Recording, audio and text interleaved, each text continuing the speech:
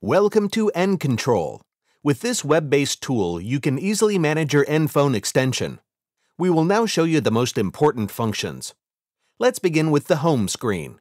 Here you can find an overview of all notifications and messages received. The first tab gives you a list of all caller activities. You can also find each set of notifications separately.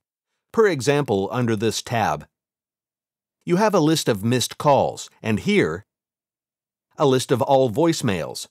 The voicemails can be played directly in the tab and then forwarded, saved, or deleted. Now let's take a closer look at the settings. You can choose here your preferred language from a vast list of available options.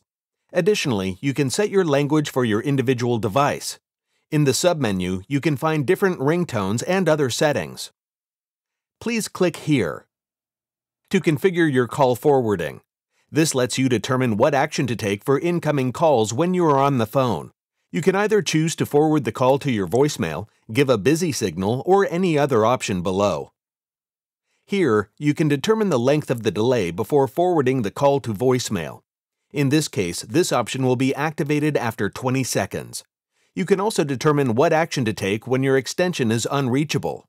Furthermore, you can choose to let incoming calls ring on several devices at the same time if your number is connected to different devices and locations. Next, we demonstrate how to assign contacts to your function keys.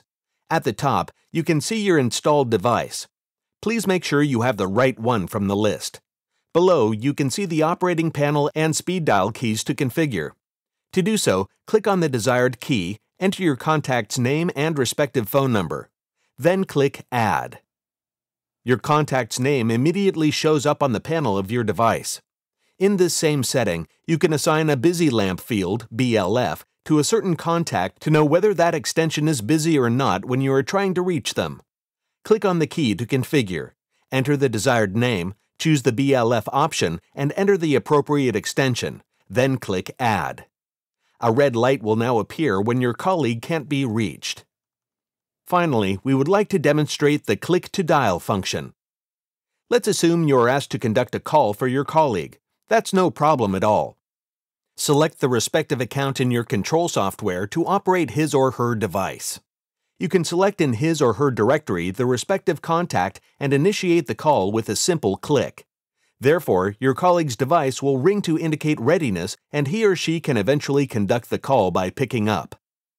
And now, please enjoy working with NFON's Ncontrol. We only showed you an overview of some of the main functions to get started with this tool, but the possibilities are endless.